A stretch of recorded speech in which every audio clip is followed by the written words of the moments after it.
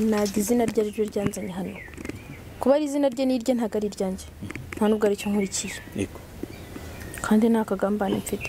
Nta kintu nta kintu na kimwe mushaka ko ndinze ngana gutya. Simuzi ntabwo nzi reka nkubwire utararangiza. Yego. Ntabwo bishoboka. Nicarana nawe se ndamuzi. Ubu- noneho nicarane nawe agenda abwira undi nawe ejo azaze nicarane nawe. None se none tubwirwa niko? Yego. Oya ibyo ntabwo byashoboka. Nicarana nawe se muzi he ikibazo hari ababiteguye hari abarimo babiri inyuma wenda cyangwa kuko ntabwo uriya yabyibwirije. Mm, sibyo? Yego. icyo gihe ni cyo nadekuye nabonye. Mm, ntabwo uriya ntabwo ntabwo uburyo bwo gushaka umuryango ariko uriya bawushaka. Yego. Niba nawe uri umunyarwanda Yego. Ari- abaye ari nk'uwo ari nk'uwo nabyaye i bugande cyangwa muri tanzaniya muri kongo yego. yaza ashakisha akanyura mu itangazamakuru. Cyane. Nawe ariko nk'umunyarwanda mu rwanda. Mm, w'indimbati mhm. uzi nawe? Uriya mwana uremeza ko yambuze? Njye njya kwicarana nawe. Oya ntabwo yakubuze nge nyuma ndajya kwicarana nawe se mu ruhe rwe? Ikindi rero icyerekeranye n'uriya mukobwa. Yego. Uriya mukobwa ntaho muzi Mm. uwanjye yego. ibindi ibindi niba hari ubundi buryo kuzajya gupima uzajya kumpimisha ubwo azaza ndebe ambwira ati tujye ku sina nibaza uzaza akamfata niba niba hari icyaha mfite cyangwa akantegeka ngo tugende tujye kwipimisha. Oya ntabwo biri yego. Urumva? Mm, uriya mukobwa afite imyaka y'ubukure yego. imyaka cumi n'umunani Mm, umuntu rero ufite imyaka cumi n'umunani ujya ku ujya kuri social media akajya ku ku kiganiro kimwe akajya ku kindi akajya ku kindi akajya ku kindi yego. ijambo avuga ari rimwe Mm, ntabwo ari ukwicarana nanjye naba nitesheje agaciro ahubwo.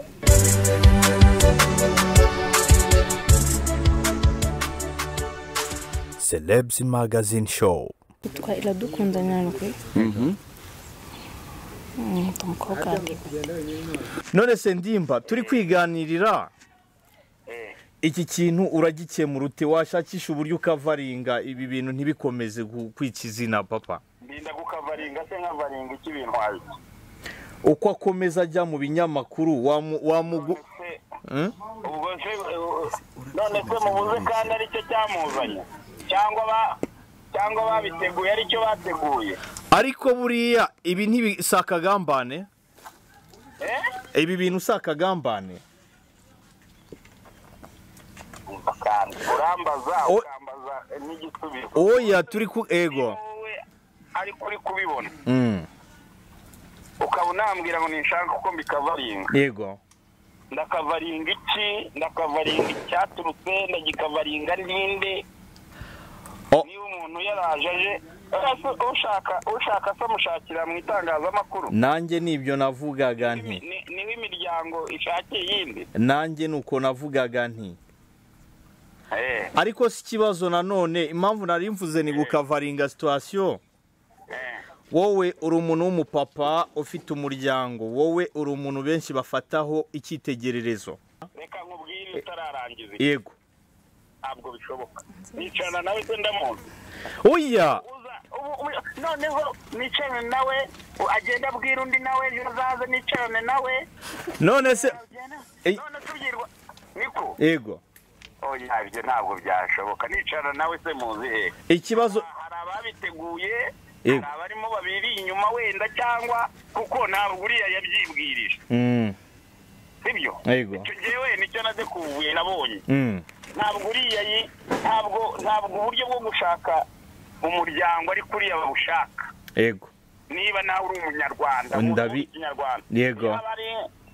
Abaye ari nk'uwo ari nk'uwo nabyaye i bugande cyangwa muri tanzaniya muri kongo yego. yaza ashakisha akanyura mu itangazamakuru. Cyane. Nawe ariko nk'umunyarwanda mu rwanda. Mm, w'indimbati mhm. uzi nawe uriya mwana uremeza ko yambuze. Kwicarana nawe. Oya ntabwo yakubuze nge ndajya kwicarana nawe se mu ruhe rwe? Dore ikintu kiriho muvandimwe dore ikintu. Eh, musta impamvu ndi kukubwira ibi? Eh, ngewe ndakubwira ibi nk'umuntu w'umugabo ufashe umwanzuro kugira ngo azimye umuriro. Mm. kuko none se ubu aka kanya kwirengagiza ibi urumva icya mbere biri kubangamira mu rugo iwawe.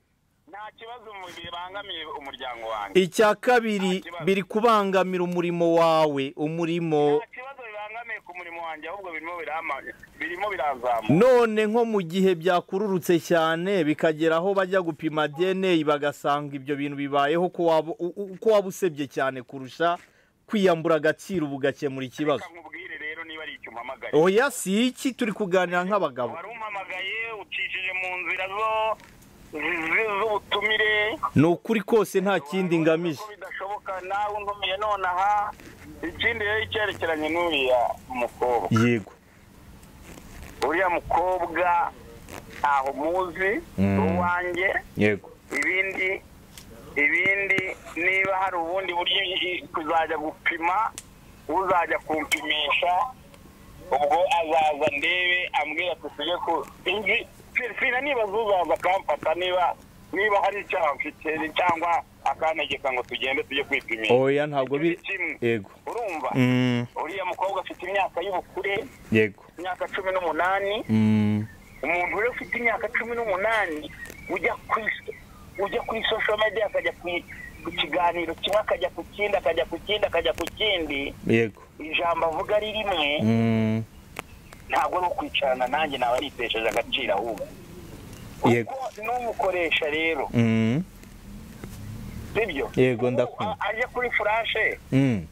wamukoresha ikiganiro ntabwo namwakira ngewe wamujyana namuzana yego nabahuza mukabiganiraho ariko hanyuma ubwo Mm. none ibaza ahubwo gutyo ndicarana nawe. Kwicarana nawe ahubwo Mm. nshobora kuba ari bwo naba ntanze kontenti abantu bari bakeneye. Nanone ni cyo ni cyo. Urumva? Mm, Eh, hanyuma nicarana nawe nkani nicarana nawe kuko habaye. Niba umuntu ntamwemera atari uwanjye ndajya kwicarana nawe kubera iki? Ibyo byo oya ubwo kiramuzanye rero. Mm. kizanamusubizayo ikiba none kuki udakurikirana aba baginga? ba- babyihishe inyuma niba ari kontenti koko bari gukeya kuko wibwira ko wibwira ko inzego eh, z'ubugenzacyaha cyangwa wibwira ko turi mu gihugu kitareba ntabwo ntabwo wabonye se ko batangiye gukurikirana bashyiraga kuri youtube ibintu by'amapuranka yego yego yego. Ntabwo wababonye ko babitangiye? Mm, ndetse wibwira ko aba bantu baza ku masosho media bavuga ngo baje gutwika? Mm, wibwira ko bo biri bubahire bo ntabwo ba- bagira ngo ijisho eh, ry'ubugenzacyaha cyangwa ubutabera ntiribareba. Yego. Ntabwo rero kujya ku kujya kwirukanka Mm, n'umwanya nagakozemo ibintu ngo ngiye kwiruka inyuma y'uriya. Ibyo byo ni byo ariko. Urumva? Yego. Mfite ibindi nakabaye nkoze kandi byinshi Mm. byagirira abanyarwanda akamaro. Ntabwo mfite umwanya wo kwirukanka kuko uriya hari icyamuzanye. Mm, icyamuzanye rero ni na yo mpamvu eh, hadakwiriye no kugira uvuga ngo umunsi. Yego. Ubwo umunsi ubugenzacyaha. Mm, kuko ni bwo dutangiriraho cyangwa izindi nzego zabibonye. Yego. Hari n'inzego ziharanira uburenganzira bw'abana.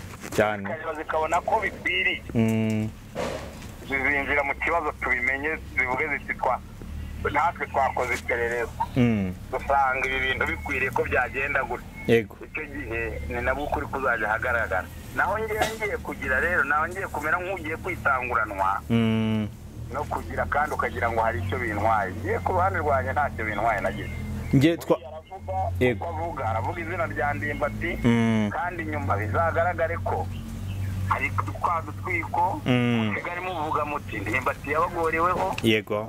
Kubona ko nabagoreweho niko kongera kunshyigikira no kunkunda. Mm, Eh, ibyo byose rero nta mwanya kuko ntagende nshaka uriya ngo ngwino twicarane mu bwenge ceceka Asha nge nuko nka nge urumva nabitekerezaga nka kumwe umuntu.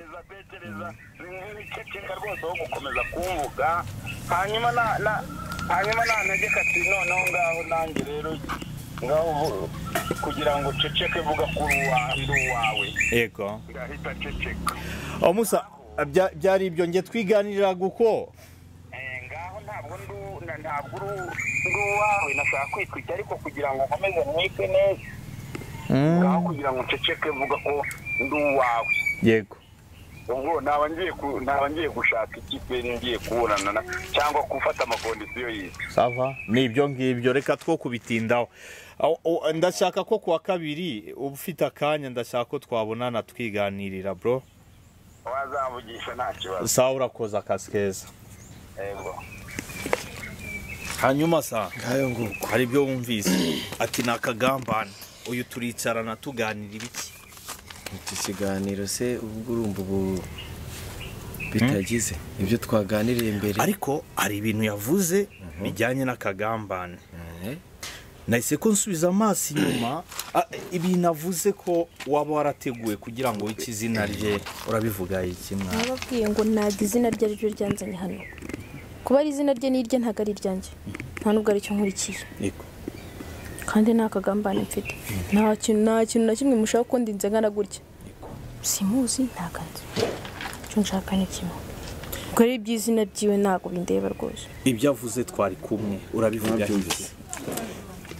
biriya ni ibisanzwe rwose. Biriya ni ibisanzwe. Ubwo ahubwo atahanutse ni amahirwe kuko akenshi anyihakana anyihakananuka ubwo rero biriya none ubwo ibi ntabwo biri butandukane n'ibyo watubwiye by'uko yavuze ati mwanyitiye umwana izina rita- banyitiye umwana izina ritari ryo ku irangamuntu dufite guhinduza ibi ntabwo biri butandukane kuba yivuguruje nyuma yo kubona ibintu byashyushye mu binyamakuru akavuga ngo kama mbaya mbaya nk'umuntu wafunzwe ahari ntabwo ntabwo yaba yamubeshyeye ahubwo? Ntabwo waba wamubeshyeye nawe ni umuntu ntabwo ngiye naje kubeshyanga kuri social media. Ni iki kintu avuze kigutunguye mu byo atubwiye? Nta na kimwe. Kugeza ubona mpinduka. Nta na kimwe ngo gira rwose ubutumwa umugenera. Ubwo namuhaye bwose nta na kimwe yasubiza hanyuma hari inzego zinyuranye zifite mu nshingano abana yaba ribu no mu mudugudu kuva mu mudugudu hari inzego zikurikirana abana. Dufite n'izindi NGO zikurikirana. Right uburenganzira ariko wahamagara umunyamategeko ko se uba ni aka kanya ubwo ntitwaba twihuse cyane. Inkuru waba ugiye kuyirangiza kandi ko hari inzego zireberera abana ndimbata akwihakanye ku mugaragaro. Ariko uriya avuga ibyo ashaka. Uriya avuga ibyo ashaka. Kandi kunyihakana kwe nta kintu ibyo ni ibintu kuko n'ubundi ndinze nkana gutya izina papa ndyumva mu matangazo. Uretse guhura na ndimbati ko hari inzego zireberera abana? Inzego za mbere ni ndimbati. Sinzi niba mutabibona. Nawe ubwe ni uru- ni urundi rwego. Ariko hari ribu hakurya aha wagenda uti mumfashe mumuze na ngo data. ndimbati ni urwego Nawe niyo ubwe ni mpamvu uri urundi rwego. kumburira ubu birarangirira aho usubiye mu cyaro cyangwa uriyambaza ribu n'izindi nzego zifite mu nshingano. Ni ukuvuga ngo ubu ngubu ugiye kubaho mu gahinda n'ibikomere cyangwa urakomeza urwane mpaka. Ubonye uburenganzira bwawe kuko wavuze ko icyo ukeneye atari ndimbati ukeneye kumenya abana ba ndimbati kugira ngo utazashakana na musaza wawe. umenye bwe yego. no guharanira uburenganzira bwa- bwawe. Sinzi impamvu abona ko ndi gukurikira izina rye. Kuko we yaravuze ngo u- uwo social media uwo byo byazimye aha avuga ndimbati. Uwo abona agiye gutangira ubundi buzima ni ndimbati. Noneho ngewe nta simati ngira nta social media nkoresha. Ntabwo izina ryawe ryo nakurikira. Hari ikintu yakompojeho? Ndimbati aravuze ngo hari ababyihishe inyuma. Noneho mise kuvuga. ntanasubiza amaso inyuma. Hari ikiganiro aheruka gukorana na firidawusi Mm. kimwe cyangwa bibiri. Wagiye ukorana na firidawusi kandi firidawusi uzi ko hari uburyo atabanyemo neza na ndimbati. Tubirebera kure ntitubizi burya iby'umugabo n'umugore. Rimwe barahura. Bahuye bate? ubundi. firidawusi mwahuye muti? Fedawusi n'ubundi twahujwe n'ikiganiro nk'abandi bose. Ntabwo nari muzi. Rero guhura na Firdausi ni ibintu birangwa. Amahirwe ko wenda wamenya abana ba Firidausi nta bariya bo. makuru se waganiriye Ni nawe mbere yo guhura n'uwo firidawusi namenye namenye ko ari abana be nyuma ari uko nakoze ikiganiro. Byaba ko ari abana be ntabwo Eh, Gusa wari ubizi. ese reka ese ubundi eh, nitujya inyuma tukareba ibintu ari kuvuga by'akagambane umuntu wese araza kwibaza waje kuri social media ute? Timu ishobora kuba wenda ibiri inyuma. Ninde muntu wagupushinze kuza kuri social media? Iki ikiganiro cya mbere wakoze wagikoze na Slim Jesus ngira ngo afite YouTube channel ni we umanaginga umuntu bita mm, Joaez wa Juno. Yego. Ni manager we ngira ngo ni we yego. Yego. Yego. Niwe mwakoranye bwa mbere. Ubundi ngira ngo ushobora kum- kumbwira muri make ko nimba atavuga ko yagambaniwe. Hari abantu inyuma babiri inyuma kugira ngo uze muri social media akomeza guharabika izina rye. Ariko nta muntu ubiri inyuma. Hmm? nta muntu ubiri inyuma. Sinjye yarabona hari umuntu mukuru ntagufatira imyanzuro. Mbibwire ndetse abandi bimfatira njyewe ubwanjye ni njye. Nta muntu wundi ubiri inyuma. Dusoza abdu. Ubu ugiye gukora iki? Arakwihakanye live? Mu kiganiro. Ntabwo ntibyakwiye amategeko. Eh? ntabwo bikuye amategeko nyine. Nyuma yabyo ugiye gukora icyo ugiye kugenda wifungiranurire? Ugiye kwiyambaza inzego? Urakora iki? Ugiye kujya kugisha inama mama musubire mu cyaro? Niki kigiye gukurikira ibintu by'inzego ubwo nabamusajije cyane. Kuko biri mu kintu atinya ndabizi. Eh? Nabamusajije atinya? Eh umugira impuhwe yamugiriye impuhwe kuko ibintu ndi kumusaba njyewe ubwanjye ntabwo ari kubyumva. Nta nubwo ati sinshaka gu- gu- gu- gu- gukurikirana papa mu. Urabeshya. Uyu si papa wawe. Niba udashaka gu- guharana ndetse uburenganzira ubundi kubanganye gutya tutari kumwe ubundi urabona mbaye none we, nta mpuhwe wagufitiye wowe urazi uzi ko muvuganye wumvishe se avuze iki? Nta mpuhwe wagufitiye. Nyine ko muvuganye wumvishe avuze iki? Nta mpuhwe rwose nta reka reka reka. Kuki wo mugirira impuhwe? Rero nanjye ndi kwiyomeka uri kumwihomaho. Nibiramuka bimenyekanye ko ibi bintu byari byateguwe kugira ngo umenyekane kuko na joyeze yari pranka uyu munsi yarafashe Ya. nyina dore imbogo byari pranka yaje avuga ko byarafashe ari musaza wa wa- mushiki wa bamporiki. Yego. Eh. nawe yarafashe. Nibimenyekana ko wabeshyaga. Nta kibazo na kimwe mfite. Kuko nzi neza ko ibyo mvuga ari ukuri. Ndimbati nakujyana mu nkiko birakugezayo. Nta kibazo. Baragufunga. Aho nari kujya wari bujyeyo nta kibazo. Eh. Kibazo. Aho? Nta kibazo. Aho yari kujya? Naramuka ashaka kugufungisha niyo bari bufunge? Nta kiwoya. Mm, ngewe kuko nari kujya nyine kuri ribu mm. nta kibazo se tujyane. Nsigare mfunze atahe. Ubu ni ukuvuga ngo filime abantu barebaga y'umukobwa wa ndimbati irangiriye aha. Nta hantu abantu bazongera kukubona urekara mu burenganzira bwawe ko ukeneye papa wawe ndimbati. Sumbishe asanga nzisubiraho. Eh, wasanga zisubiraho. Gasubira ku kindi kinyamakuru. Kubera ko ndimbati agaragaje ko inzira umukobwa yanyuze siyo. Siyo. Kuko natangiye mbivuga. ari kuriya bigenda. Eh. sibyo? Ntabwo zo muri social media. yongeraho ati aka ni akagambane bari kunkorera. None nawe uti bishobora kuzagera igihe ukisubiraho. Azi neza ko icyo nshaka atari izina rye. Icyo ushaka uzagikora muri social media? Kuki utinya kugana inzego ubutabera ngo baguhe baguhe ubutabera bwawe? Uburenganzira bwawe bwubahirizwe wasanga nyine ntari kubitekerezaho cyane ariko ndabitekerezaho nabwo nzajyayo ntacyo yego abdu. Uh, abantu bi- abantu bashaka ku- ku- njyewe buriya mba nshaka ko umuntu niyo twamukoresha ikiganiro iby'umuryango ntabwo tujya tubyinjiramo cyane ko twe ntabwo turi inkiko. Uh, ariko abasamariya beza baba bari kutureba mwa- mwashyigikira uyu mwana w'umukobwa akiga. Nk'uko yavuze ko ashaka kwiga mekanike. Bitari no gushyigikira umukobwa wa ndimbati ni nko gushyigikira Umunyarwandakazi, umwana ejo hazaza. ku myaka cumi n'umunani urumva ko akazi ko mu rugo bamwirukanye. Babayeho atariho. Afite undi mwana w'umukobwa hari atari afite n'aho abarizwa. Ure- uretse gato hari umwana w'umukobwa wamucumbikiye none ikintu arahari. none ikintu ki- cya- cyambabaje. Uwo mwana w'umukobwa wamucumbikiye nawe nta kazi afite.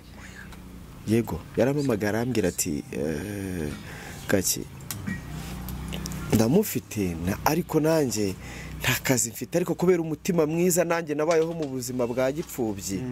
Nagiye mfashwa. Niyo mpamvu nanjye mvuze ati naze nituburara turaburara twembi. Nimbona icyo turya turya jasmine imana iguha umugisha cyane. Yego iguha umugisha kubera ko ari kutubwira gato uko babaye jasmine ngwino hano ngwino hano ngwino hano. yego eh. Yego yego eh ni kimwe. Ubufasha batanga uyu ni umwana w'umugira neza imana kandi jasmine umeze neza? Turi gusoza iki kiganiro. tubwire kugira ngo umufate muze kubana nawe ubuzima bwawe ntabwo ari ubuzima bwa danje. Guhenda ku buryo twavuga ngo ufite ububasha bwo gusapotinga umukobwa mugenzi wawe. Byagenze kugira ngo umufate mu bane ubu ni ukuvuga ngo jasmine ni we uri kurerera ndimba. mbere na mbere ameze nka kari nijabo na na bruce mero reka mbashimire. Yego. Ariko kuko ikintu cyanteye kumufata cya mbere naratekereje nti buriya muri ngira umutima wo gufasha nuko nyine wenda ubukene bwanga ariko ningira ubushobozi nzajya mbikora. Kuko bimbamo. Njye nabayeho ndi imfubyi ndafashwa. Sibyo? Narezwe n'umuryango utari uwanjye. Nakuze nta mama nta data nta muvandimwe nta muntu wo muri famiye nyine namenye numvise rero uyu mwana w'umukobwa ngo bamaze kumwirukana aho yakoraga sibyo abanyamakuru bamukoreshaga benshi bari abasore. Ntawe ari kumufata ngo babane.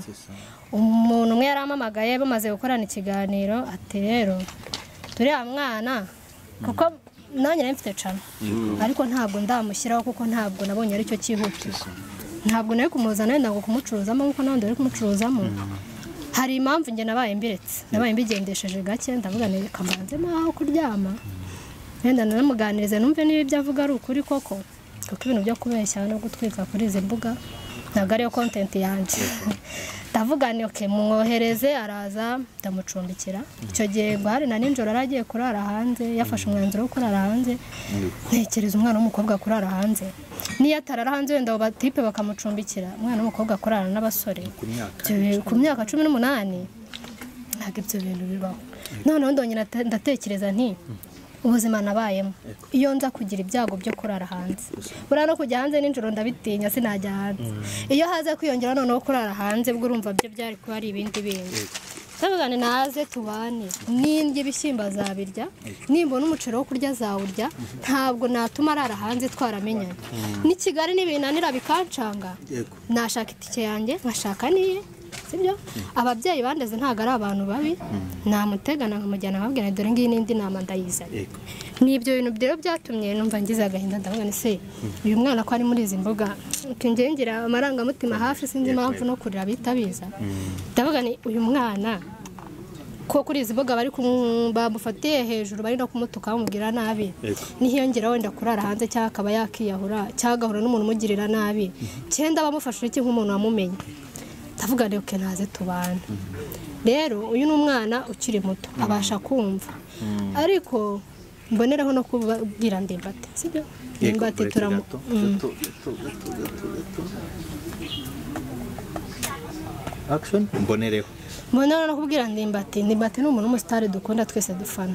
Ariko nkurikije ukuntu nabyumvise ntabwo ari guhita reyakitinga kuriya. Guhita afatira umwana hejuru akamutuka hari numvise avuga ngo ni inzererezi. Numva amufashe nabi. Mu by'ukuri njye numvaga wenda bari guhura akaba yamujyana rega akamwereka n'uwo nyina mu cyaro akareba n'uwo mukobwa yarigeze kumumenyaho. Kuko ntabwo yaba yarahindutse ijana ku ijana ku buryo atamenya niba barigeze kumenyana batarigeze guhura. Ikindi kandi n'abantu batanga komenti bamutuka ngo arabeshya ngo agire ute? Mwaramuhamagaye mwamenye ukuri kwe. Ese mwaramushatse muricarana njye nk'umuntu tubana. Ntarambubaje ni se uri gutwika cyangwa ni byo arambwira ati njye ibyo bambwiye mu rugo ni byo ndi gukurikiza ikindi kandi ikintu naje nje kureba naje nje kureba byibuze ambwira uti ngende ndimbati mama n'uyu cyangwa bene wacu naba abanyereke ejo ntazanahura n'umuhungu we tukaba twakundana. Kandi ni ibintu bibaho. Ejo ashobora no guteretana n'undi muntu bagira icyo bapfana bakabana. Yego wenda nanjye mba mbitekereza kuko nanjye ntabwo nigeze menya papa. Ariko byibuze ngewe nta n'uwo nzi nta n'aho namubariza. Ariko se nk'uyu nguyu yagize amahirwe yo kuvuga ati papa ndamubona. Bambwiye ko ari uriya ubwo ibyo byago bibayeho byo gushakana n'umuntu bagira icyo bapfana ntumva ataba ari igisebo kuri ndinda ikindi kandi ntabwo ndi hano ngo mbihamye ko ari uwe. Ariko ndimbati nawe yagombaga guciringa sibyo akiyambura izina. Feme afite mu bantu akaba byibuze yashyize ku ruhande. Bakicarana. Bakareba uko babigenza. Byibuze n'icyo gisebo kuri ndimbati rega cyo aho uzi kuba uri umusitari ukaba uzwi ku bantu babyara ntibarere. Nk'icyo gisebo cyari kumuvaho. Nubwo avuga ko ntacyo bimutwaye ubona amutuka nta kibazo bimubwiye iki ni ikibazo gikomeye. Ubwo se mugani habayeho itegeko bagapima. Jasmine Ariko- ariko mbere yo kumuse yo kugira ngerageza nkubaze nk'umuntu wakiriye umwana. Uri kumufasha ute muri iki kibazo? Muri iki kibazo rero? Uyu mwana ngewe nabonye ikintu cyihutirwa atari ukumujyana muri izi mbuga ni bwo ngiye kubihurizaho bisubirize hamwe. nk'umuntu mubana ubuzima bwa buri munsi waganirije ubona akeneye iki cyane? Ubufasha akeneye haba hari n'umuntu udukurikiye byibuze wagira umutima wo kumufasha. Ubona akeneye iki kugira ngo byibuze ubuzima bwe bugende? Uyu mwana bujyanama, ikintu akeneye. kumuha- duhereye ku bujyanama. Yego reka ndanamura tubona igihe mubyeyi ngewe n'igihe mubyeyi afite. Ndanamuhana cyane ngewe burya nta bintu by'imikino. Eh. gusa ikintu nabanje gukora. Simfite cano ntarayijyaho pe. Ntabwo nabonye ari byo byihutirwa. Ubu turi mu kubanza kumenya wenda gusoma utuntu tw'ibanze. Sibyo kugira ngo n'uwo mwuga wenda nihagira umu- umuntu w'umwana mwiza ubone oya ku byo kwiga. Umuntu w'umwana mwiza uboneka cyangwa umubyeyi mwiza umufasha kujya kwiga uwo mwuga. Byibuze abazi no kwandika hari inyuguti ugomba kubuza pe Yego. ntabwo umuntu yakuzanira mezire ngo mpimire iki kintu unanirwe kucyandika. Ubu nyine ni uguhera kuri i. Twabanje gutangira kwiga abigeze kuri inyuguti zo yarazimenye. Tugiye kuzakurikizaho ingombajwi. Ni umwana wumva afite na disipurine god pe ibi ntabwo njye ndi bubishyigikire kuko ari kwakitinga ibyo adakwiye kwakitinga None se Uyu mwana wajya iki mu wa kibazo mbere arimo? iki kibazo umwana arimo? Uri kumufasha iki kugira ngo agisohokemo? Iki kibazo. ndetse niba se amwihakana njye njya gufata ndimbati mu ishingu se. Njye ndakorera umugisha wanjye ku giti cyanjye. Ibye ibyiwe umutimanama we ni we ntabwo uzamubwira azi kuri ribu ntazi urwego na rumwe. Nk'umunyamakurukazi uri kumufasha iki muri iki? Kugira ngo rero ni ibintu ubutabera biza gake gake ni ibintu biza gake gake bimara n'igihe kinini. Ariko ikibanze njye nakubwiye nashoboye gukora. Sibyo ikibanze nashoboye gukora. Ni ukubaho kuryama. Sibyo ntarare uyu mwana yari akeneye bimwe bita ngo basic needs. Be- basic hari basic needs. umuntu aba afite. Ntabwo yari akeneye none abanza se anatuza. umujyane muri ribu ajya ataha muri ruhurura se. Ajye muri ribu se. Nunamuha mesaje ananirwe no kuyisoma cyangwa ayoberwe no gusoma ibyo bamwandikiye. Yatangiye n'izo komenti zimuvugwa yego. Yego. njye ibyo nabonaga akeneye bya mbere ni ukubona aho ashyira umusaya. Yego nanjye muri kigali ntabwo nubatse ndakodesha ariko ntabwo yarara hanze twaramenyanye pe we ubwe nambwira ati ndarambiwe ndabona ubuzima bubayeho budashimishije ndagiye nzamurika agende. Ariko njye ni kigali hananiye. Ntabibabwiye namutegera nkamujyana mu rugo. Mwabwira ni njye mwarandeze ndi uruhinja narakuze. Ngiyi indi nama muyishyire mu zindi. none niba ari kumwangaza niba ari kumwanga bigende bite? Oya nta kintu afite gukora. Bwira abantu batari imbere yawe ya telefone oya ku bantu bashaka kubafasha. Mukeneye gufashwa iki? Abantu bakeneye mwabimbaje ibw'ibanze nakoze ni ubwo ngubwo ni byo nashoboye. Gusa nk'umuntu nanjye uzi gusoma wumva hanze uko bimeze. Haba hari ubundi bujyanama mufite ahubwo mwamubwira? Nanjye namubwira sibyo? No kuri ribu yanajyayo rega ariko ubundi kubera icyo ubireka mwana uravuga ngo urananiwe icyakuzanye ntacyo uzi. Gute uvuga ngo ngo nda- ngo ndarekuye? Gute? Wowe wavuze akantu? Niba rero gusebya umugabo w'abandi nawe nzashyira hasi nkubite. Niba ubizi neza ko ibyo uvuga ari ukuri wayi wavuga ngo birekere aho birekeye aho bite? Wavuze ko uri kubanza kumufasha ngo aruhuke abe Eh, abanza abe poze. N'ibintu by'ibitutsi ajye kure yabyo kuko buri ibintu by'imbuga nkoranyambaga niyo ndi gusoma komenti nzisoma bucece nagize amahirwe menya ko atazi gusoma.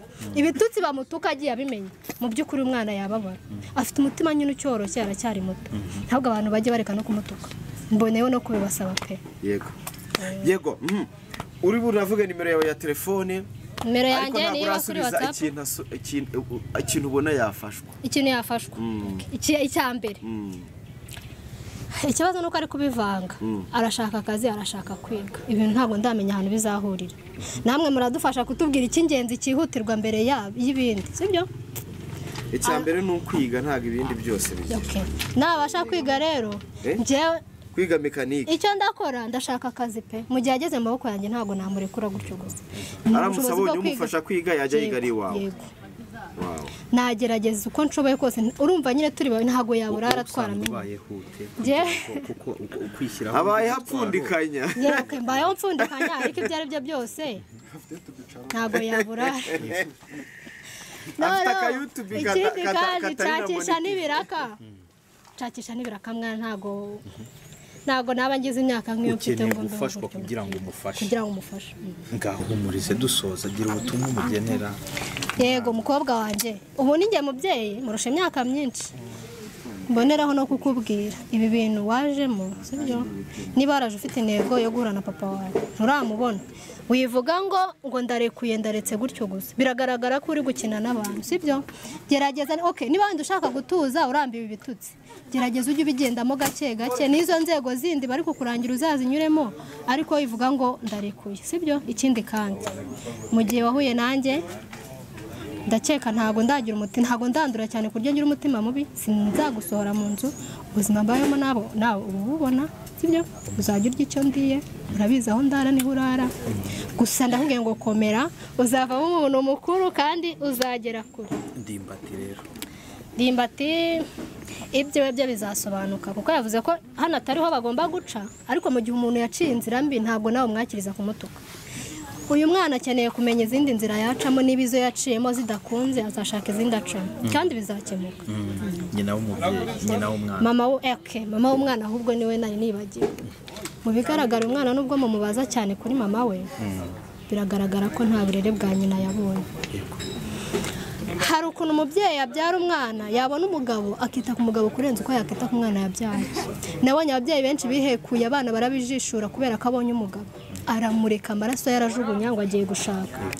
Nyina w'umwana rero ntabwo wambwira mama aragukunze yange kugera no mu wa mbere. Ngo umenye uko bandika i.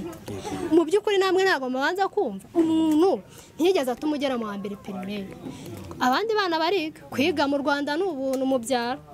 Yanze kujyayo. Urumva ntabwo umubyeyi nzajya no kumushaka wenda tuganire atari no kuri kamera atari no kuri bya social media kuko agomba no kumenya umwana we ahari. Njye ntabwo twahuye kubera ubucuruzi cyangwa kubera ibindi bintu byo gutwika. Njye twahuye kuko namwerera imbuto nk'izo nanjye nerewe narafashijwe ngomba gufasha abandi. N'abandi batari we nzabafasha. Rero mm, nshobora kuzajya gusura mama we tukaganira.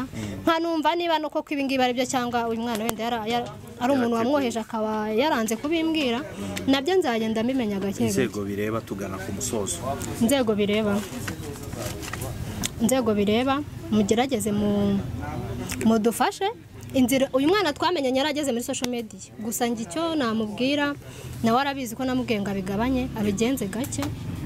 Inzego bireba njye ndi umuntu narize sindi mukuru cyane muri byo ariko nzamufasha tuzazigeraho tuzaganira. Ibindi bizavamo tuzabibabwira nyuma. Uri umukobwa wa ndimbati benshi baravuze ngo ni ugutwika. Ibi bintu wenda nagira ngo ubisobanurire abantu ese wabimenye ryari ko papa wari ndimbati byagenze ute kugira ngo abe papa wawe? Ubunganye tutari wabimenya cyangwa se mutari mwahura? Kuba ndi umukobwa ye nabimenye kera ariko kuko nabimenye nyine nari nkiri umwana sinabyitaho.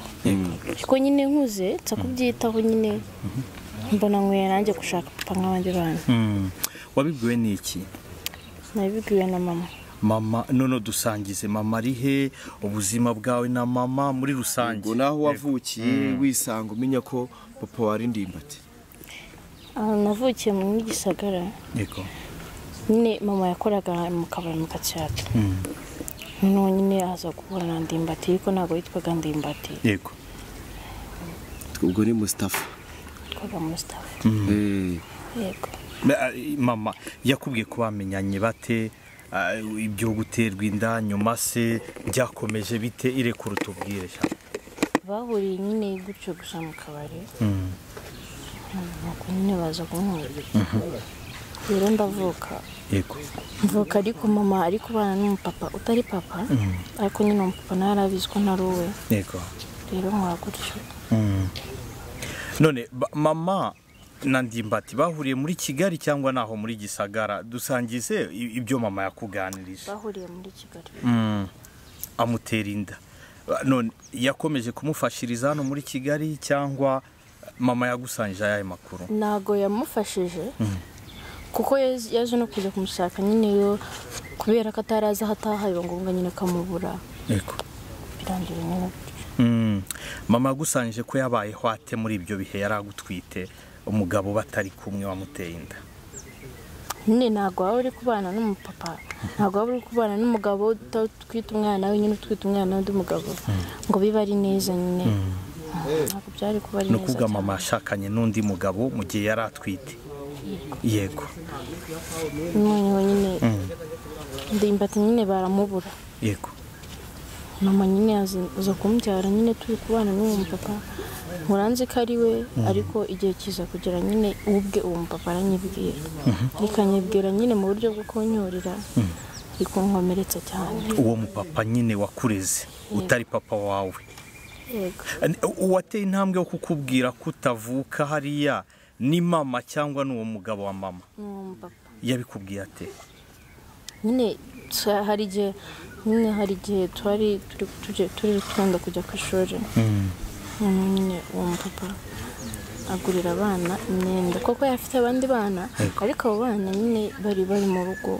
Abandi bana bato bari mu rugo. Noneho arabagurira nyine bari babiri. Arabagurira. Noneho nyine amaze kubagurira ngiye yanga kungurira kumva nari maze kugira imyaka itandatu. Yego. Noneho nyine birangije. Mbimubwiye ahita ambwira ngo uzasange so Yego.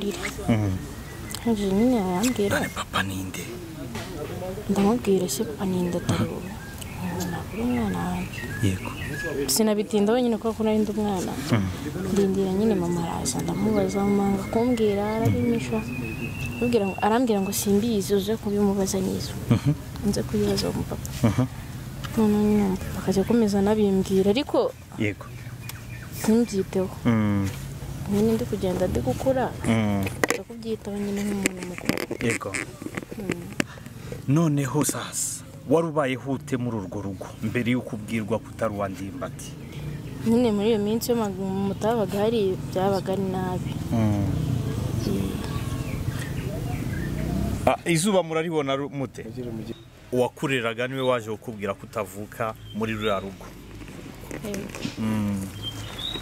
Ubwo nyine kimara kubimbwira iyo mu matabaga hari ubuzima bwari bubi nyine. Kubera iki? Bwari bubi nyine kenshi nabwirwaga nabi. Simfatwa nyine nk'umwana wo mu rugo. Ariko nyine nanjye nkakura ngenda mbibona simbitindaho cyane. Mama se kuki yatinyaga kukubwira ko utari uwe? Uriya mugabo. Simbizi yari wenda abona yari wenda yaratekerezaga ngo natamubwira nyine akajya kuhanyereka kandi nawe ubwe yaramubuze. Yego. Reka turebe wenda ubwiye ko papa wawe uravuga ati ngewe nanabimenye. Ubwo ni ukuvuga ngo ndimbati n'izina ryamenyekanye muri sinema nyarwanda ariko ukavuga ati ngewe nabwiye ko ko ari papa wanjye atari yabana ndimbati akiri Mustafa ubwo urumva yari atari yamamara cyane. Nyuma y'uko ubonye ubuzima urimo ukabuhuza n'uburyo uri kubona ubwamamare bwa papa wawe biriya bintu byo wabitekerezagaho iki? Nko kubona papa wari icyamamare umuntu wese ashobora kwibaza ati ese uyu mukobwa yabaga nimba atari bya bindi by'abantu bafata abantu baza babagereka ku bandi. Kuki utigeze uza mbere? Kuki uje ubu ngubu? Umuntu yavuga ngo kubera iki? Iki gihe cyose wari uri hehe kandi papa wawe? N'ubundi yari azwi ari icyamamare. Kuba ari icyamamare? Ntabwo ari cyo kintu cyatumye mushaka. Kuko uko nari nzi ko ndi bumushake nyine namushatse kenshi ndamubura. Mbura nimero ye mbura aho ataha. Nanone gusanga umuntu mu rugo rw'uko mbwira ngo usiko ndi umwana wawe? Ntabwo ari sawa. Aho ngaho na- waba urengereye kandi yanakumerera nabi. Utekereza gutera intambwe kujya gushaka se kukubyara byaje bite? Njyewe nyine naje mu mujyi. Nje gushaka akazi na papa. Noneho nyine nshaka akazi nkabona ubwo wari mbere. waranyuze kuri mama wawe ngo amukwereke ibiranga. Byari byiniwe ntago ntago yari kubimubona. Mm. ubwo rero ngewe naje mu mujyi nje gushaka akazi nkashaka na papa. Kugira ngo nimbona nimbona aho ndi gukora akazi mbone n'uburyo ndi bujye gushaka papa. Mbona ndi aho ndi butahe. Akazi wari uje gushaka i kigali ni akahe? Gukora mu rugo. Kugira ngo ujye gushaka akazi ko gukora mu rugo. Wari ufite umubyeyi ukurera wari ufite mama byo ni iyihe mpamvu? Ibyo nyine byatewe n'uwo mupapa. Nabonaga nyine n'inzajya mbona ndi guhangana na wenda abandi gushwanisha urugo rwubatse. Mbona nyine ntabwo nabazengeza. Njyewe ubwanjye nyine mfata umwanzuro ndasohoka. Nta nubwo mama yari abizi. Nagiye nyine atabizi. Ubwo ubwo wabaye nk'umuntu unaniranye uvuye uvuye mu cyaro uje gushaka papa wawe n'akazi. Ku- kugeza ubu muri ibyo byose ni iki wabonye? Nabonye akazi mbere ariko nako nza kukavaho kubera impamvu za papa. Ugeze mu mujyi wa kigali dusangiza ubuzima wahuye nabwo. Ukigera mu mujyi wa kigali? Nkigera i kigali nabanye n'umumama. Umumama nyine wakoraga mu kabari ariko akora akazi ko kwicuruza. Noneho nyine akajya atahana n'abadadi benshi. Nanjye ashaka kuncuruza ariko ndamunanira. Avuga ati mu byo naje kureba i kigali ntabwo ibyo bintu birimo. Naje nshaka akazi no gushaka papa. Ariko ntiyanyumva. Nyine turaserera turarwana. Ndi kurwana n'abo bapapa nyine banamenera telefone. Abo bashaka kugusambanya. Yego. Yego. Nyine ngewe mpita nsohoka ndagenda. Icyo gihe nta nubwo mfite ahantu ndi bujye nta nubwo nari buhamagare kuko fone yanjye bari bayimennye. Biba birebire nyine. Mba gucumbika ahantu ku mukobwa w'inshuti yanjye mbwira umumama nyine nshakira akazi. Kunshakira akazi nyine ngenda ahantu hariya i kanombe. Ndagakora nyine ndi kugakora. Nza kugisha umukobwa nyine inama ndamugisha inama ndababwira sinabona gute papa? Mubwira uwo ari we arambwira ati keretse ugiye ku kinyamakuru nyine. Ukabicisha kuri social media. Ndababwira ngo nta kibazo sinabibona gute aramfasha nyine mpura n'umunyamakuru. None nyine ndabikora nkoze ikiganiro bwa mbere ndimbata arampamagara ampamagaye nyine turavugana noneho nsaba ko yazaza kundeba aho ndi kuba kandi abimbwira nyine. Hariho pariyeri abantu bantu tubona bari kubyumva nabo ntibabyakira neza nyine. Birangira bambwiye ngo urahitamo telefone cyangwa ukayikuraho ugakora akazi. Nkabwira ati mpisemo telefone mpisemo gukuraho telefone nkakora akazi. Ibi ntabwo nazaba nkimubonye. Ikindi ni impitamo gusohoka nkagenda ntabwo ndi bubone aho njya. Barambwira ngo ibyo ntabwo bitureba hitamo kimwe muri ibyo. Aho naho ukora wakoraga icyo gihe. Yego. Yego. Ubwo nyine bigenda nabi baranyirukana ndagenda. Kubera icyo nashakaga. Nashakaga kumenya ku nyine guhura na papa ariko ntabwo byanyoroheye. Kugeza n'izi saha hanyuma icyo gihe um, kuki wagiye mu kinyamakuru nta bundi buryo wari ufite bwo kuba wahura na papa wawe cyangwa ngo umuvugishe nararebaga nkasanga ntabwo. Kandi nta nuko nari naragenje kuko kenshi na- na- namushakaga. Nakundaga nyine kugenda nyine ndi kugenda mu muhanda kuko nakunda kugenda n'amaguru. Ndebe kuduhura. Ariko nkahura n'abo ntashaka kubona. Ariko uyu munsi biroroshye kubona nimero z'umuntu ukaba wamuvugisha kubona nimero yonyine narayibonye ariko nabwo uri kumva ko bitanyoroheye. Yego. Naretse nyine icyakangiriye umumaro njya kumushaka. Waretse akazi. Naretse akazi njya kumushaka. Mm. ubwo birangije nyine. Nawe ntabwo yigeze atekereza ko naretse akazi njye kumushaka. Kibuze ngo ampamagare anyubake cyangwa yongere ansenye birangire kuko tuvugana ntabwo yigeze anyubaka. Icyo gihe se muvugana ko mwahanye gahunda yo guhura? Ntabwo twayihanye kuko naramuhakaniye aho narindi nabwo ati nyine nazashaka gahunda nazashaka ukuntu mbona umwanya nkakwa n'uruhushya tugahura. Rero kuva icyo gihe ntabwo twongeye guhura. Kuva ubwo wirukanywe ku kazi papa yari yagusezeranyije kuzaza kureba ntaraza ubayeho ute nabi cyane. A- Abdul reka turebe ndimbati we mu byo mwaganiriye kuri telefone. Yemera ko uri umwana we koko? Yarabishidikanyaga cyane.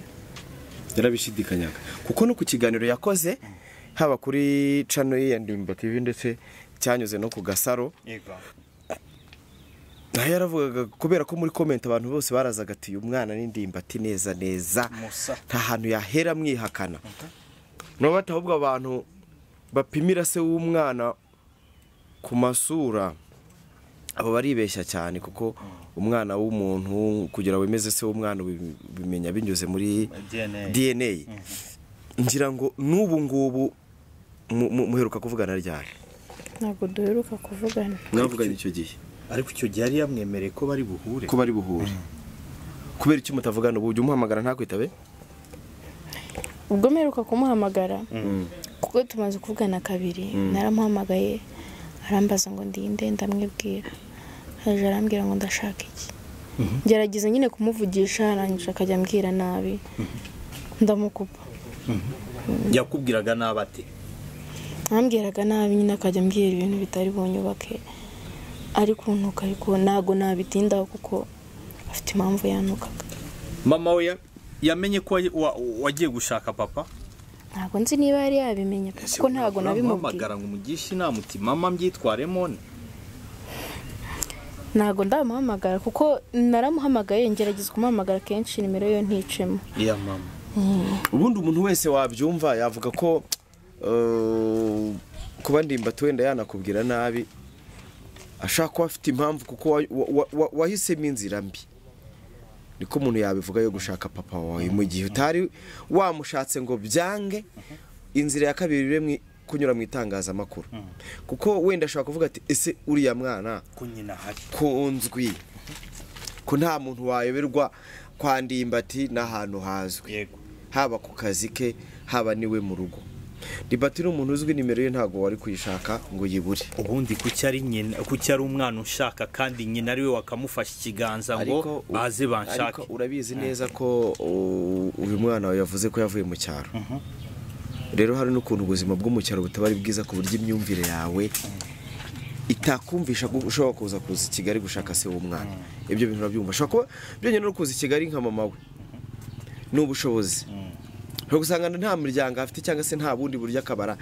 Izo depanse zo kuza gushaka uwo muntu badaherutse no kuvugana. Bahuriye mu kabari mu myaka ariko umwana yateye intambwe yagiye kumushaka. Ndimbati ni umuntu uzwi aho ariho hose. No mu cyaro bamukurikirana batari ba- ba- ba- batari kumwe. Iri kosa ni iryande ikosa. Eh. ikosa ni iry'umubyeyi ni nyina wagombaga gufata ikiganza umwana bakajya i kigali gushaka uwo ndimbati ese mama wabaye atariho? Wenda ni urugero. Oya ariko yavuze ko nyina ariho. Eh, ubwo yaba atariho? Umwana yaba atariho umwana we yatera intambwe.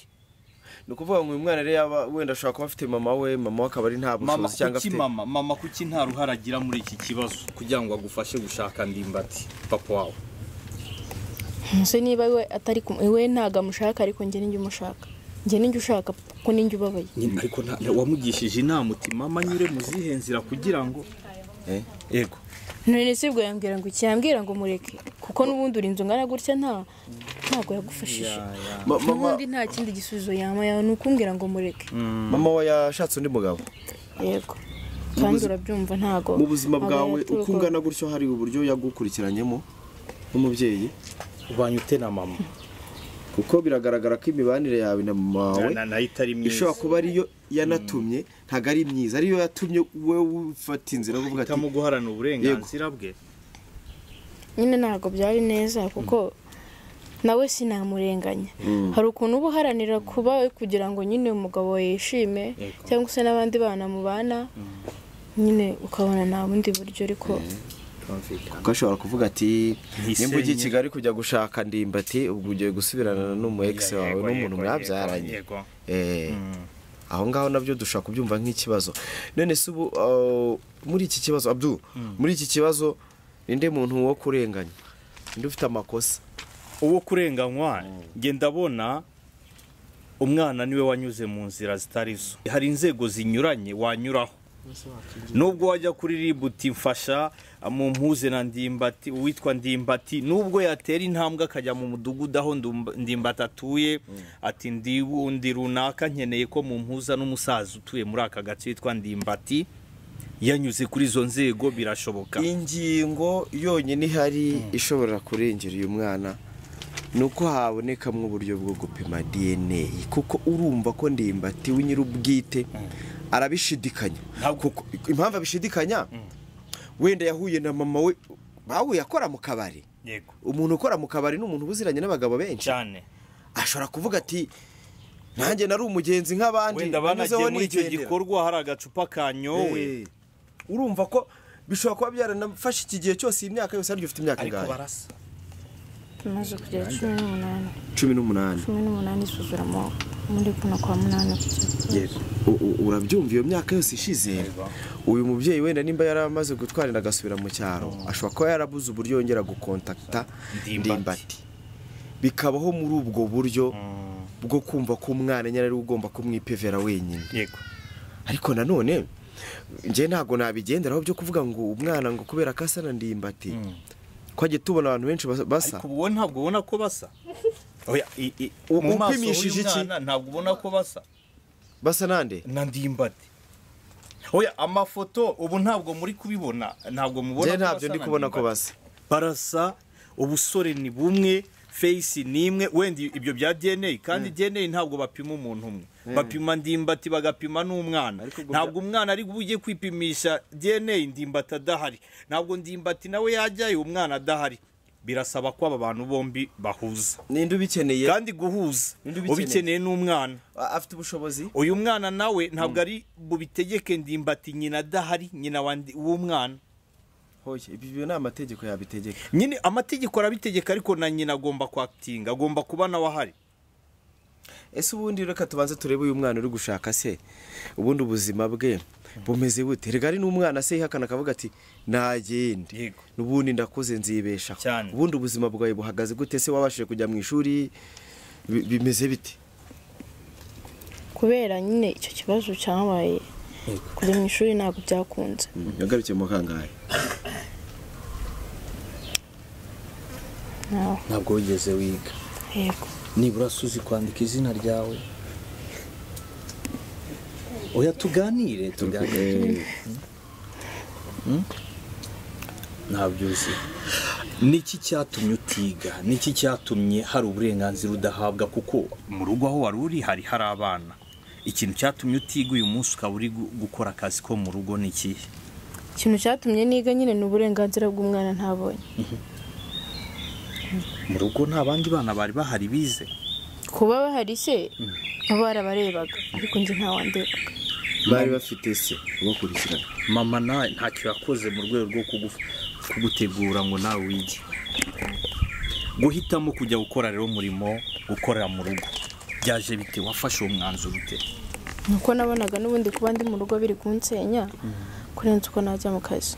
Ti- Abdul tujya dukunda kugira abantu b'umutima mwiza.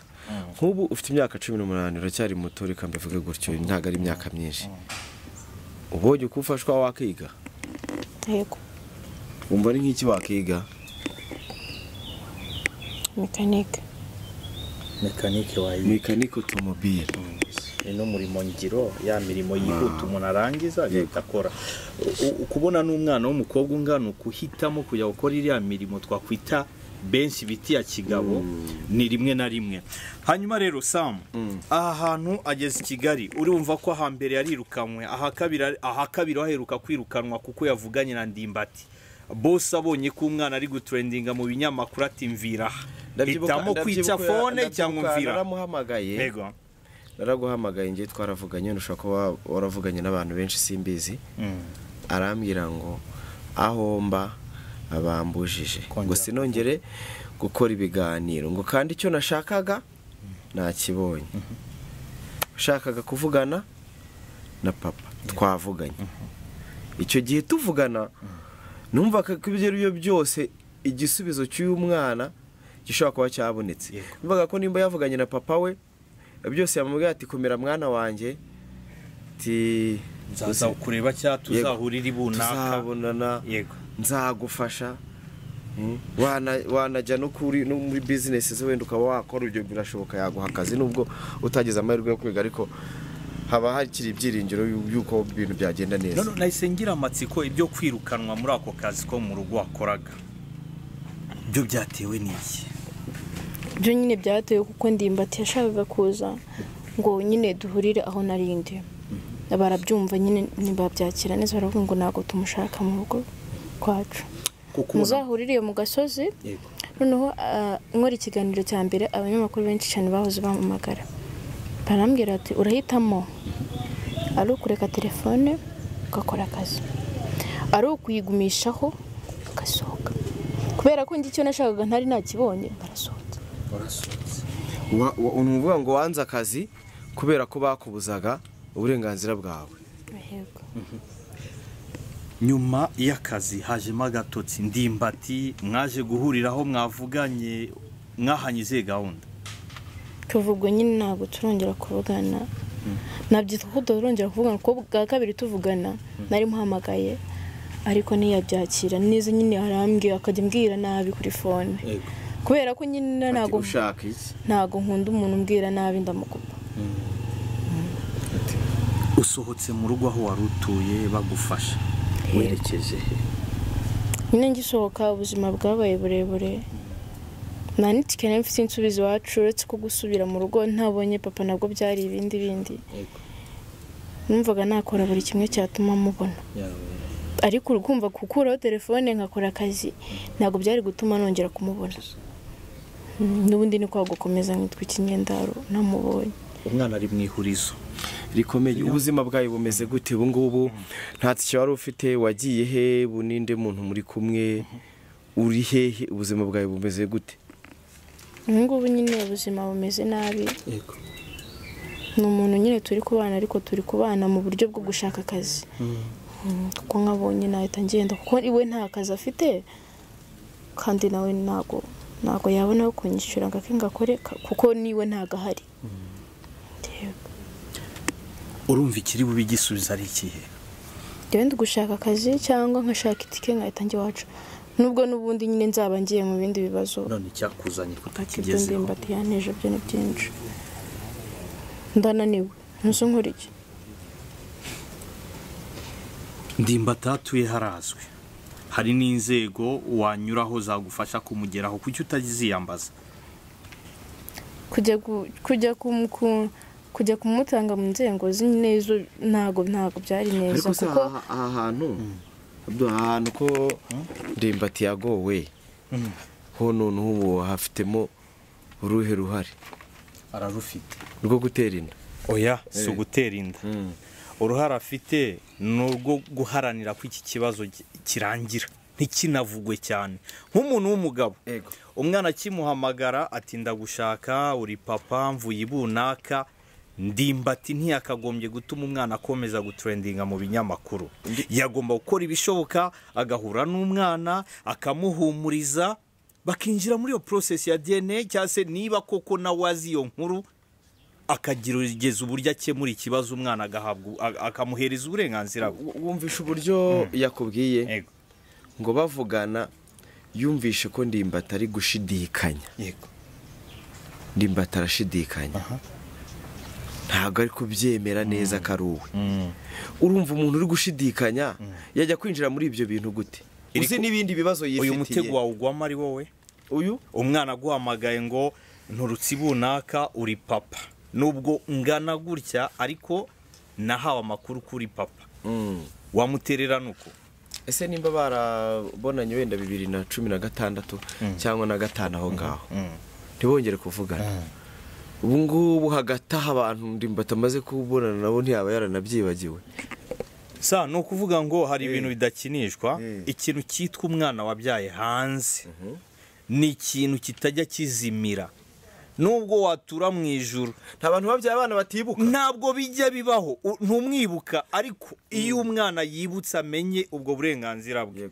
Igihe icyo ari cyo cyose iyo kesi babana n'ibikomere by'uko mama we yagiye atamubwiye papa we. Wenda mama akaba yarita urumva nyina yarapfuye nyina yarapfuye umubyeyi atabimubwiye aho birumvikana. Ukaba bo ubaye nabi kandi so ari igikomereza wenda nko muri iki gihugu ari umunyemari ukomeye cyangwa se ari umuyobozi ukomeye ugasanga we utabizi kubera kutabimenya umwana icya mbere nyina arahari. Ubu ngubu ubu turi kubivuga uko nibikururuka na nyina azaza azatanga uburenga azatanga ubuhamya. Kandi ibyo bizatuma ya DNA ijya yajya gupimwa. Kandi nibamara kumupima yarabanje kumwihakana ni bwo bizakomera. Ntabwo bizakomera kuko azaba abonye proof. Ntabwo rega yamwihakanye kuko nta kimenyetso na kimwe gihari. None se ubundi aho kugira ngo ibi bintu bikomeze bishyuhe gutya muri media koko uzi kese ndimbati amazemo igihe. None rero kubona kubona umwana havutse undi mwana uzi ugaragaza kandi umwana yanyuze mu nzira nyazo. Yashatse telefone.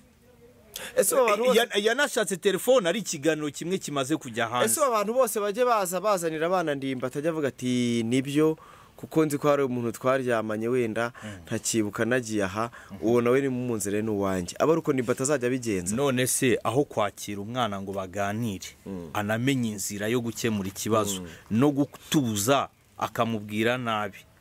Inzira nziza yo gukemura ikibazo ubwira abiye reka ndimbati afite ibibazo byinshi afite firidawusi rimwe na rimwe urabizi ko yivumbagura akaba agiye mu itangazamakuru ati he he he he indezo afite urundi rugo rwe n'undi mugore we w'isezerano. ntu- ntureba urugo eh, eh, iriya kesi ya firidawusi yoroshye kurusha uyu mwana.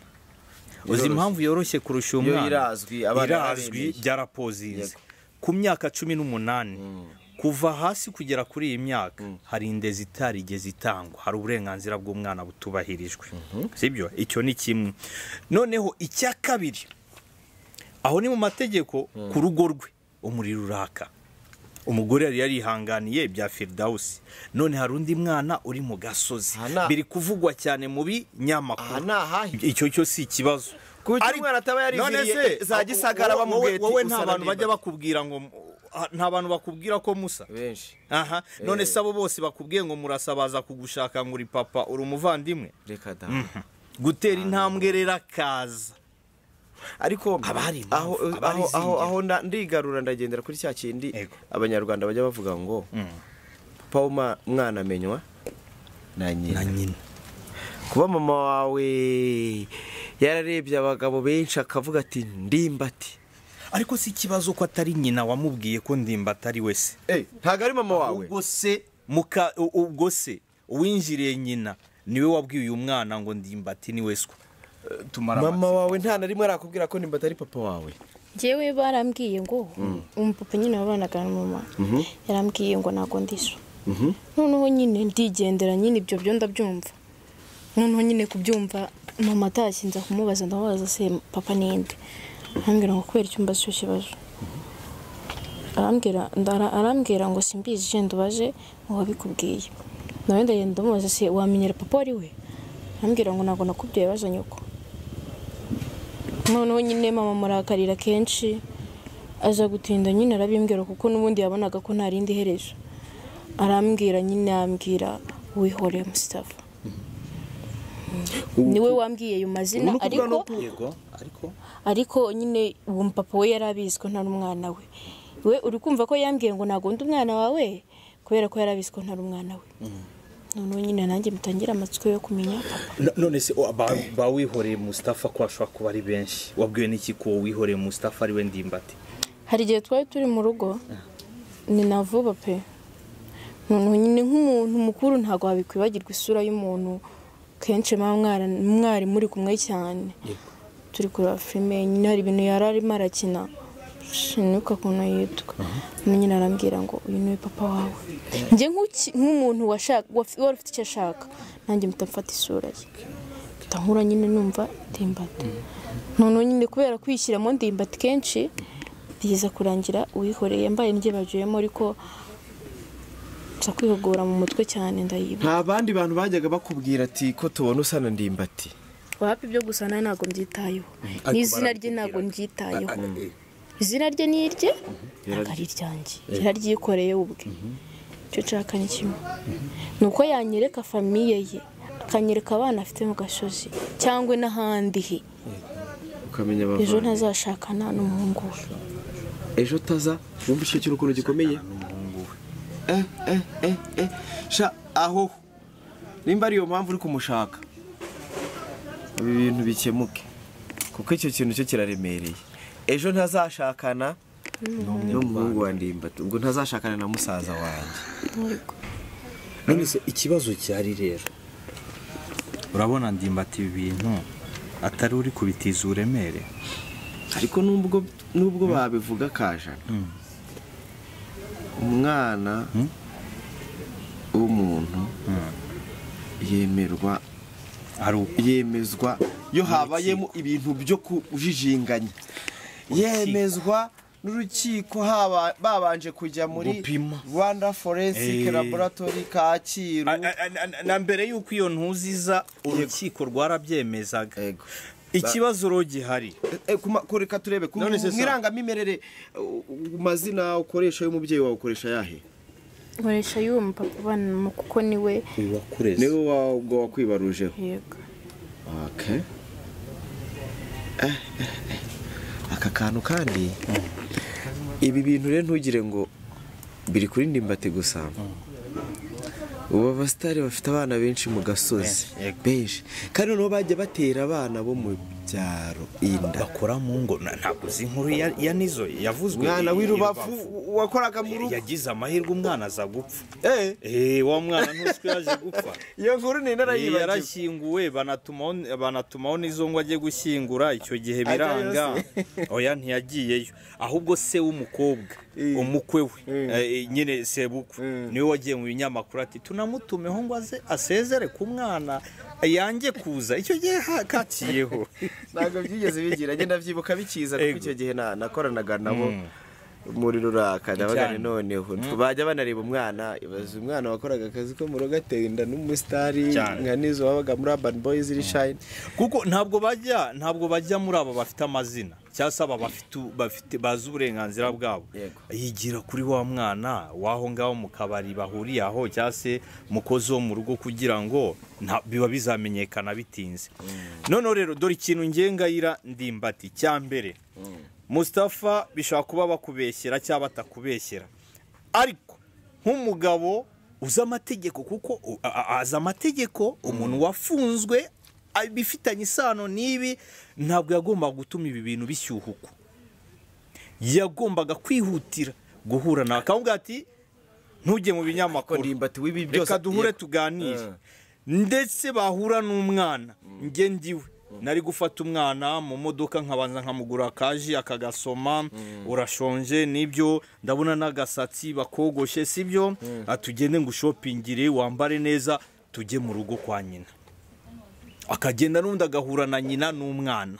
Bakaganira ari batatu. Agakaruma situwasiyo nta nubwo byari kugera aho bajya gupimisha dna urumva se na nyina bari kwicara? wari ko ndimbati ibi bintu byose akubwira ati ni abayutubu baba bari gushaka umuriro.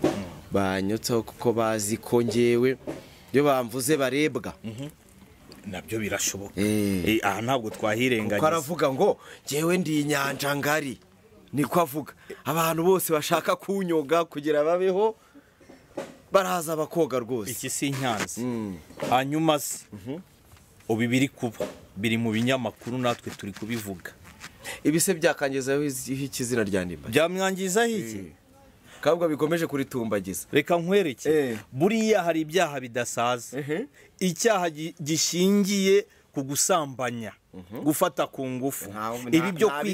Eh, uretse nyine ibi byo kwihakana umwana kwica cyangwa se ah, kwirengagiza uburenganzira bw'umwana. Kidasaza ni ukuvuga ngo ibi ntibinakurura kabikara koko icya mbere minisiteri y'umuryango y'iterambere y'umuryango n'uburinganire. Ntabwo yahereza ndimbata akazi. Izi za unicef ntizamuha akazi. Ariko ni nyuma y'uko amategeko agaragaje ko hari aho yirengagije. Tuvuye mu mategeko tukajya no mu myemerere twebwe nk'abarokore tubifata nk'umuvumo.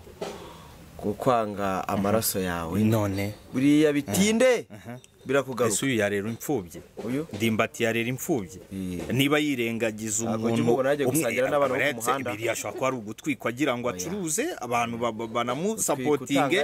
Nyine niba Eh. niba uwiyita umwana wawe akubwira ngo uri data ukamuhunga. Warera imfubyi warera uwo mu gasozi. Ese o, re- re- reka tukwibarizeho gatoya. Iyo ubonye ibyo ari byose iyo ubonye nk'umu- nk'umusitari ndimbati ubuzima arimo ibikorwa afite ngewe nabashije gusura ibikorwa by- the way ni n'inshuti yanjye. Ndimbati ubwo ureba iki kiganiro ndagusuhuje cyane. Eee mukobwa wawe ndi kumuganiriza nta wundi mutima mubi ngira urabizi. Eh, ariko nta kundi nyine ariko bigomba kugenda urabizi ko uri umusitari kandi uba ugomba kuvugwa uba ugomba no kubyakira. Ariko se nanone iyo witegereje ukabona ari mu mafilime ahantu hose ari kuvugwa n'icyamamare wareba ubuzima wowe urimo. Umwitazo uri gukora mu rugo. Ntabwo ushobora nko kuba wari uri gukora ahantu ukakwigunga ukarira umwana wa ndimbati ni umukozi wo mu rugo cyangwa se hari n'ababyita bya- za mvugo zindi ngo ukarya rugo wari we rucugusa mbabura ayo ni amazina ye ariko ayo mazina cumi n'umunani akajya gukora mu rugo. Bivuga iki izina rya ndimbati ryo ntabwo rindeba pe. Kuko icyo naje nshaka ni kimwe. Ni ukumumenya nkamenya umuryango we. Nyine iyo ubona ubuzima abayemo nawe ubwo ubayemo. Nta kiba kidafite iherezo. Ubwo n'ibindi na byo bifite iherezo. None se ahangaha uyu munsi urumva ko ubu noneho ntabwo muri kuvuga rumwe. Biragenda gute? Ubu nyine ntabwo duheruka kuvugana. Nta n'umutima wajya ageraho kumpamagara ntabwo njya mbibona. Yego. Yego. Urabona biri bukemuke bite?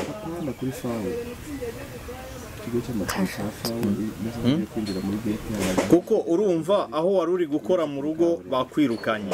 Ndimbati gahunda mwahanye yarayishe. Telefone uri kumuhamagara ntabwo. Uyu munsi ntabwo muri kuvuga rumwe. Kandi misiyo wari ufite kwari ukugira ngo ubone papa waguhuze n'abavandimwe. Urabona biri bukemuke bite? Urabigenza ute? Genda ndabona ibintu byo kumushaka ndi bubireke nyine ubwo ntabwo bizaba ikosa ari ngewe nitumushakana ntabwo bizaba ari ngewe kuko maze kunanirwa ntabwo ntageze bitari no gushakana hari uburenganzira bwawe buri gupfa. Butari kubahirizwa. Kuko ku myaka cumi n'umunani umwana ujya gukora akazi ko mu rugo ku myaka cumi n'umunani umwana utarize utazi no kwandika izina rye ibi babifata nk- nk'imirimo ivunanye ikoreshwa abana. Wenda imyaka cumi n'umunani si bwo utangiye kugakora asanga waratangiye kugakora ufite cumi n'itanu cyangwa n'irindwi. ibi ni bya bajya bita muri muri cyongereza child labor imirimo ivunanye ikoreshwa abana. Kandi kuko ibi ngibi hari n'abantu benshi bari gukoresha abana b'imyaka cumi n'itanu n'ingahe bitewe n'ubuzima? bataragira ubwenge Eh, ariko muri ibyo bintu mujye mukora attention kuko ingaruka zabyo ziraremereye cyane. Gukoresha abana bata imirimo ivunanye. Ntabwo ntabwo ibyo bintu na nyine ntabwo navuga ko hari ikintu nabivugaho kuko nkora akazi ko ntabwo ntabwo ari njye ugakora njyenyine. Kuko wenda hari n'abandi bantu bandusha agahinda kandi ibintu by'akazi ko mu rugo narabimenyereye. Kuva mfite imyaka cumi n'itatu. Wa- waragakoraga. Naragakora kuko nta kindi kintu nabonaga ndi bukore. Ubwo rero nyine ni ukuvuga ngo papa ntumubonye. Telefone ntakwitaba. Urakomereza he ko wamaze kwatsa umuriro?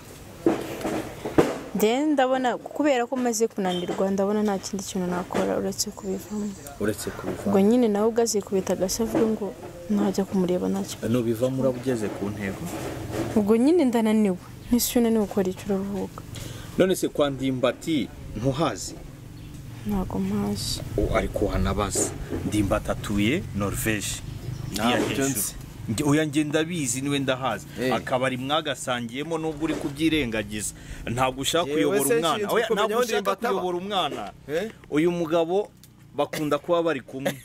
Nimero ya telefone niba imwe idatsama afite izindi ze umugore we ni inshuti ye. Ntabwo nshinzwe kuki udatera intambwe ngo ujye kwa Ndimbati. aho nzi ni ku kabari ntabwo nzi we mu rugo. No se ku kabari ni ho mu rugo. kandi mbata abonye kino kiganiro cya mbere? Ngo yari gutera intambwe akaza kundeba. Atari we umushaka kandi ari wowe umushaka. Nawe yari kubishyiramo uruhare ariko niba ashidikanya ko ndi umwana we tukaba twaravuganye nyine akanambwira ngo isi irafashe irangamuntu ngo duhinduze amazina. Akajya ambwira ko icyo bamwitiye umukobwa izina ribi?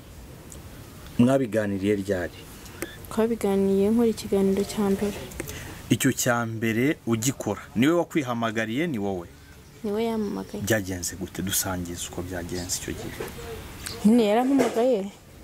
None ntabwo nari muzi ndamwitaba. Ariko ntumva ijwi ndamenya uwo ari we. Wumvishe muri wowe umeze uti wumvishe iyo telefone iraguhamagaye ni umuntu washakaga wari wabinyujije wenda mu nzira nakita ko itari nziza ariko kubera ko wenda nta bujyanama bwinshi wabonye nta nubwo wari ubimenyereye ubwo n'iyo nzira wabinyujijemo ariko nanone arakwihamagariye si nawe ushatse nimero yo ngo umuhamagare wenda uvuge ngo wabisizemo imbaraga. Akiguhamagara mu- mukaganira wumvishe muri wowe umeze ute? Ako kanya nyine nari nduhutsemo mufashe nyine nkimenya uwo ari we. Nari nduhutsemo nyine numva ndatuje. Ariko dutandukana. Turekanye nyine kuri fone ibyo nabwiwe. Byatumye nongera nsubira kubona ari imeze narababaye cyane. Yakubwiye iki? Mwaganiriye tuganira nyine yarambajije yambazaho amazina ya mama ndamubwira. Akubwira ko amwibuka mubwira mubwira n'aho mama yakoraga. Nangije nyine arambwira ngo wasanga ari byo? Simbizi nangije nyine arambwira ngo kubera iki banyitiye amazina umukobwa mabi baranyubutse? Ndamubwira ngo simbizi nubwo utari uhabaye ngo unyite iryo ushaka. Arambwi- arambaza ngo nafashe irangamuntu ngo turihinduze. Ndamubwira ngo yego. Ndambwira ngo nihangane byararangiye ntabwo barihindura bijyanye no guhura no kuba hari icyo yagufasha mu buzima nta kintu mwabiganiriyeho? Uwo munsi mwafashe uhe ye- gahunda? Gahunda yari afite ko ari ukuza kundeba aho nakoraga. Ariko kubera ko nyine ndi kurebana na mabuja naje ahita amakanira arambwira ngo ntabwo umushake wanjye. Nanjye mpita amuhakanira mubwira ngo kuza aho nkora wapi. Keretse nsabye uruhushya nkakubwira tukankaza tugahura. Noneho igihe cyo kumubwira ko twahura noneho kubera ko nyine ari bwo nari ndi kumushaka cyane kuko nari namaze no gusohoka. Rangije ntiyanyumva ahubwo akimenya uwundi kuko yarambajije ngo ndinde akimenya uwundi we nyine atangira kumbwira nabi. Kumbwira nabi nyine ndamukupa. Kuva icyo gihe nturongera kumuhamagara. Ariko. Ushaka usanga ariko waramuhamagaye ari muri mpuzambi mudumbi kuko birashoboka cyangwa cyane. nakoresheje izindi telefone. Eh, kuki utari wongera kwicara ufate telefone yawe uvuga ati papa. Iyo wabwiye umuntu nabi utari muri mudu? We uhita umuhamagara ukamubwira ngo ejo ntabwo nari meze neza. Ihangane ko nakubwiye nabi. Cyangwa se akakubwira ibindi bintu ubwe yumva nyine ashaka kukubwira. Rero ariko Sa- kubera iki? Ndi kumva nawe ushobora kuba urambirwa vuba. Urumva ni wowe ufite myaka ye ni ngombwa ku myaka cumi n'umunani. Urumva ni we uri gushaka papa we? nyine ari ni we kumushaka ugomba gutera intambwe kwa ari- ari kumushaka ariko kuri iyi myaka samu niba wiyibuka ni hahandi umuntu aba afite confidence nyinshi sibyo? Ni hahandi umuntu aba ataramenya gufata decision ngo atekereze ku kintu mbere yo kugishyira hanze. Ndimbati ko ari inshuti yacu ko tubana umunsi ku munsi ubundi wamuhamagara. Live. Muri kiganiro tukaganira tukamubaza kuri iyi kesi nimero ya papa ntuyizi mu mutwe? Muhamagare nimero tumuvugisha ariko. Ubu tujye tubandwa habona ibintu by'ubushake biba biri kuri aya ma YouTube usanga baza bakaza baje gucuruza rimwe na rimwe banabeshyera umuntu. Bijye bivaho. Ni zeru karindwi